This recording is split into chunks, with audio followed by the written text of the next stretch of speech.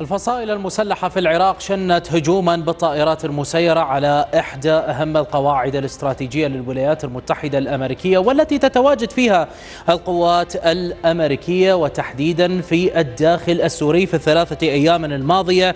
القيادة المركزية الأمريكية اعترفت بهذا الهجوم الذي جاء بطائرات مسيرة مفخخة. التفاصيل التي تحدثت عنها القيادة المركزية الأمريكية أكدت بأن القاعدة التي استهدفت هي قاعدة متواجدة في المثلث الحدودي بين العراق والأردن وسوريا وتحديدا هذه القاعدة تتواجد في الداخل السوري وهي قاعدة التنف. الهجوم تم بثلاث طائرات مسيرة مفخخة وكانت المنظومات الدفاعية الأمريكية حاضرة في مسألة التصدي لهذه الطائرات المسيرة. طائرتين بحسب القيادة المركزية الأمريكية وما نشرته تمكنت الدفاعات من التصدي لها وإسقاطها ولكن وحيدة من هذه الطائرات المسيرة تمكنت من ضرب هذه القاعدة وإيقاع أضرار فعلا تحدثت القيادة المركزية الأمريكية بأنها أدت إلى إصابة عنصرين ليس من القوات الأمريكية. لم يكن هنالك أي قتلى أو جرحى من القوات الأمريكية الموجودة في هذه القاعدة بل إن الإصابات جاءت من عنصرين من قوات سوريا الحرة أو جيش سوريا الحرة الذين كانوا يطلقون على أنفسهم قوات مغاوير أو مغاوير سوريا طبعا التي تدربها الولايات المتحدة الأمريكية في هذه القاعدة. هذا هو ما جاء من تفاصيل من القيادة المركزية الأمريكية من هذه الضربة بل نشرت صور لطبيعة هذا الهجوم الذي نتحدث عنه منها هذه الضربة التي جاءت بالطائرة المسيرة كما تلاحظون وكانت هنالك صور أيضا أخرى قد نشرت من جيش سوريا الحرة كما تلاحظون للطبابة الأمريكية وهي تقوم بعملية معالجة سوريين على ما يبدو بأنهم من عوائل جيش سوريا الحرة أو قوات جيش سوريا الحرة. واضح جدا بأن المدنيين هم الذين تتم معالجتهم من قبل الطبابة الأمريكية. كانت هنالك أيضا صورة مهمة أخرى أخرى هجوم أو الهجوم أو الضربة التي جاءت من إحدى الطائرات المسيرة. من الممكن أن نستفد تماما من هذه الصورة ونحاول أن نحدد موقع الضربة التي جاءت في قاعدة التنف للتأكد من طبيعة مسار هذه الطائرة ومن أين جاءت. وكما نلاحظ أن أهم علامتين هنا هو الصحن الذي نلاحظه هنا. صدق أو لا تصدق وهذا العمود الذي يأتي بمسافة بسيطة عن الصحن. طبعا المبنى واضح جدا بأنه كبير وهذه هي نوعية المباني التي يجب أن نبحث عنها في القمر الصناعي. الصناعي طبعا. وواضح جدا بأن الطائرة المسيرة ارتطمت بهذا الجدار أو السياج الذي يأتي قريبا من المبنى الذي نراه. طبعا هنالك باب واضحة جدا.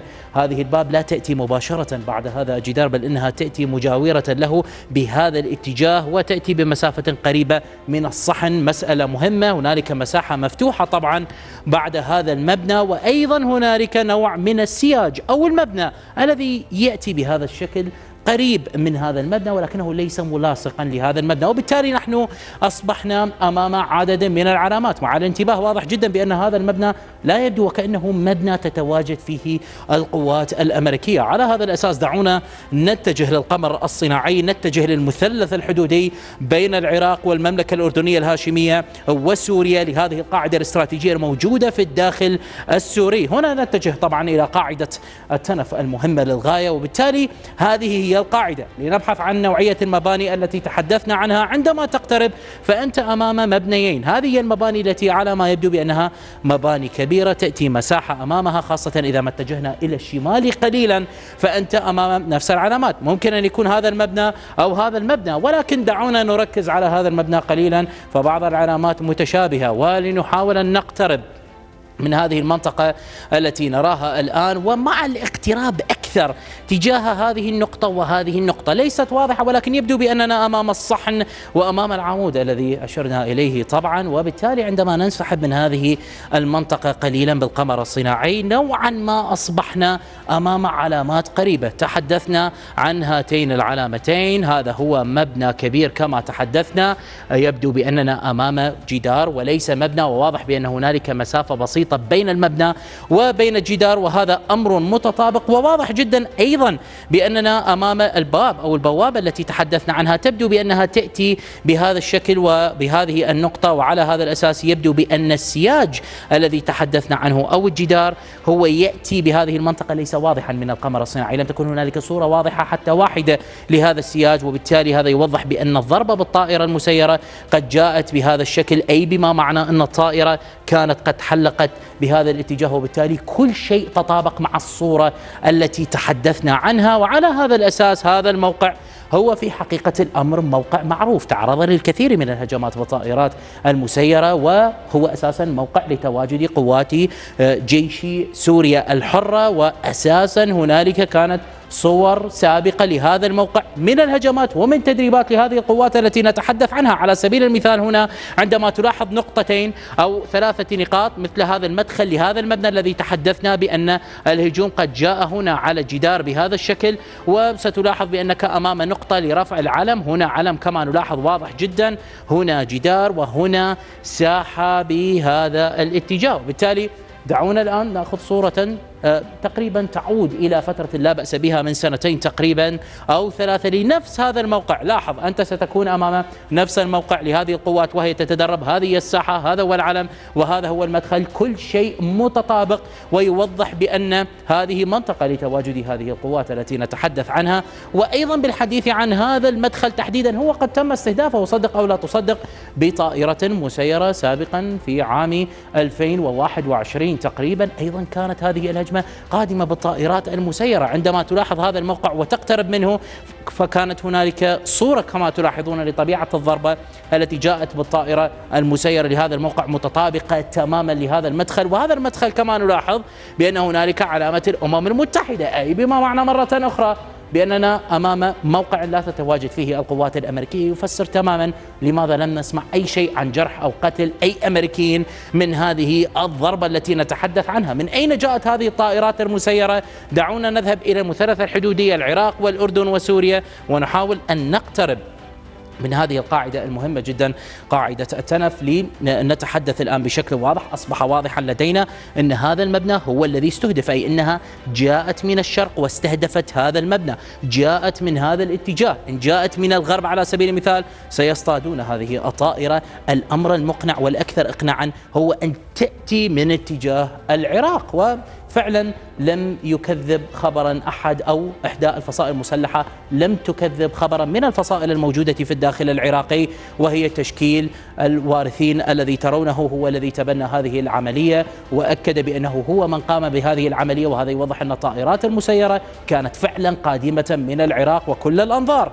تذهب إلى جرف الصخر بأن الهجوم بالطائرات المسيرة كان قادما من هناك خاصة وأن في الخامس عشر من أغسطس من عام 2022 كان هنالك هجوما نشر التحالف الدولي. هذا المنشور وضح أن هنالك هجوما بالطائرات المسيرة باستخدام هذه الطائرات ال KAS-04 إيرانية الصنع ال design والتصميم إيراني ولكنه من العناصر أو من الطائرات المسيرة التي تستخدمها الفصائل المسلحة الموجودة في العراق. وواضح عندما نقترب فإن الصورة توضح بحسب التحالف الدولي أن الطائرات قد انطلقت من محافظة بابل في إشارة إلى جرف الصخر وقد نكون هنا مرة أخرى بأن الهجوم قد جاء من جرف الصخر بغض النظر عن هذه التفاصيل إلا أنك أمام فصيل عراقي وأمام طائرات مسيرة انطلقت من العراق وقامت بهذا الهجوم على قاعدة التنف في الثلاثة أيام الماضية. الهجوم طبعا يأتي بعد أيام قليلة من حضور هذا الرجل المهم وهو قائد فيلق القدس الإيراني إسماعيل قاآني إلى بغداد وكذلك الهجوم يأتي بعد يوم واحد فقط. من انتهاء كأس الخليج العربي وهو خليجي 25 الذي فاز فيه المنتخب العراقي مباشرة ثاني يوم في الساعة الثانية عشر والنصف كان الهجوم حاضرا بهذه الطائرات المسيرة وبالتالي انتهاء هذه البطولة انتهاء هذا النجاح في هذه البطولة قد يعني الكثير من التصعيد من الفصائل المسلحة تجاه هذه القواعد الأمريكية المهمة الموجودة في المنطقة. والأمر أيضا يرتبط وتوقيت هذا الهجوم يرتبط بمسألة وبضغط كبير تتعرض له إيران بحسب الفرانس 24 مؤخرا. تحدثت عن ضغط كبير تتعرض له إيران في حقيقة الأمر وهي أكدت بأن الضغط الذي يأتي على إيران هو يأتي الآن على عملة الريال الإيراني. فالريال الإيراني يعاني ما يعانيه في الداخل الإيراني الآن بسبب الضغوط الأمريكية وضغوط آه، الاتحاد الأوروبي. فتحدثت فرانس 24 بهذا التقرير المهم وأكدت بأن في نهاية ديسمبر الماضي كانت عملية تصريف الدولار الواحد مقابل الريال الإيراني كانت تساوي 330 آه، ألفا. المشكلة بأن هنالك depreciation هنالك عملية انخفاض في القيمة أو عملية ضربة كبيرة قد تعرضت لها هذه العملة بهذه ال 330 ألفا فكانت عملية الانخفاض تأتي أو التدهور لهذه العملة بنسبة 30% من 330 ألفا للدولار الواحد الأمريكي آه، وصلت إلى 430 ألفا بحسب تقرير آه، فرانس 24 وهذا يوضح لك التدهور الكبير الذي يأتي لهذه العملة. بل أن يوم أمس بحسب فرانس 24 تحدثت بأن عملية التدهور لهذه العملة قد وصلت إلى 450 ألفا بشكل مثير. التدهور في هذه العملة للريال الإيراني تحديدا هي تأتي مع تفاصيل نشرتها الول ستريت جورنال لإجراءات اتخذها البنك المركزي الأمريكي تجاه العراق تجاه أربع مصارف كانت قد تحدثت بأن البنك الفدرالي الأمريكي كان قد أخذ إجراءات مهمة للغاية على العراق وعلى آه، بدأ يتواصل على البنك المركزي الأمريكي. الإجراءات كانت حاضرة منذ فترة ولكن قالت ال Wall Street Journal بأن هنالك تجديدات على هذه المصارف التي تحدثنا عنها بدأت منذ نوفمبر الماضي. لاحظ التوقيت المهم بين الدولار الأمريكي وبين الريال الإيراني وهي مسألة مهمة تحدثت عنها ال Wall Street Journal فقالت أن هذه التجديدات من نوفمبر بسبب أنها وجدت أن هنالك عمليات تهريب للعملة الصعبة للدولار الأمريكي لإيران ولعدد من الدول الأخرى ولا تفسيرات لها وعلى هذا الأساس اتخذ البنك الفدرالي عددا من الإجراءات في هذه المسألة تحديدا وهو ما يفسر عملية التدهور الكبيرة للريال طبعا الإيراني الذي تحدثنا عنه في ديسمبر كيف أنه انخفض إلى 430 ألفا إلى 450 ألفا. مشكلة كبيرة وضغط كبير على إيران. واضح جدا أن إيران يبدو بأنها تدفع ثمن ولا زالت تدفع ثمن عملية انخراطها في الحرب الروسية الأوكرانية وعدم وصولها إلى أي اتفاق نووي مع العالم ودخوله في مرحلة الخطر. ولكن الإيرانيون لم يتوقفوا عند هذا الحد بل إن إيران بدأت تصعد مع هذا التدهور بدأت تصعد ضد الاتحاد الأوروبي ضد الولايات المتحدة الأمريكية وقالوا إنكم أيها الأوروبيون الآن إن قمتم فعلا بفرض عقوبات على الحرس الثوري الإيراني بحسب عدد من التصريحات التي جاءت من عدد من الجنرالات في الحرس الثوري الإيراني. إن قمتم بإدراج الحرس الثوري الإيراني في قوائم الإرهاب فلا عودة للاتفاق النووي. الاتفاق النووي ميت ولكنه لم يدفن بعد. أيضا وزير الخارجية الإيراني أمير عبد اللهيان تحدث بشكل مثير بعد سؤال قد وجه له ما إذا كانت إيران ستنسحب من معاهدة ال NPT هي معاهدة حظر انتشار الأسلحة النووية التي وقعت عليها إيران وعلى أساسها وبما أن إيران موجودة في هذه المعاهدة غير مسموح لها الوصول للقنبلة النووية. الآن وزير الخارجية الإيراني قال بالنسبة إلينا سننسحب من هذه المعاهدة. إن استمر الغرب إن استمر الأوروبيون بطبيعة الإجراءات التي يتبعونها ضدنا. وهذا ببساطة يعني خطر كبير إن ما اتجهت إيران إلى هذا الطريق لأن إيران كما نعلم هي تخصب اليورانيوم بنسبة 60% نسبة عالية للغاية للغاية وأصبحت أقرب من أي وقت مضى للوصول للقنبلة النووية. وأيضا هنالك تقارير مستمرة بأن إيران على تواصل مستمر مع روسيا وروسيا قد تزود إيران بمنظومات الأس 400 القادرة طبعا تماما على حماية هذه المنشآت النووية. ويعني بأن إيران قد تتحول إلى دولة نووية. وعلى هذا الأساس نرى ضربة كبيرة قادمة على إيران بل أن إسرائيل لا تنتظر أحدا أبدا. تفاصيل أيضا خطيرة في ظل هذه التطورات التي نتحدث عنها وهذه التصريحات الإيرانية الخطيرة قادمة من ال Breaking Defense ال Breaking Defense الذي تحدثت عنه بأن إسرائيل طلبت 25 طائرة من طائرات ال F 15 وهي تحاول من الوصول إلى مضاعفة هذه الطائرات التي طورتها الولايات المتحدة الأمريكية لتحمل آه، قنابل مخترق القبو القادرة الحديثة على توجيه ضربة عنيفة لهذه المنشآت النووية التي تأتي تحت الأرض. وبالتالي تطورات كبيرة الغرب يضغط إيران تضغط وها نحن أمام هجوم جديد واستنفار جديد من الفصائل المسلحة في هجماتها ضد قوات التحالف الدولي والقوات الأمريكية الموجودة الآن في الداخل السوري.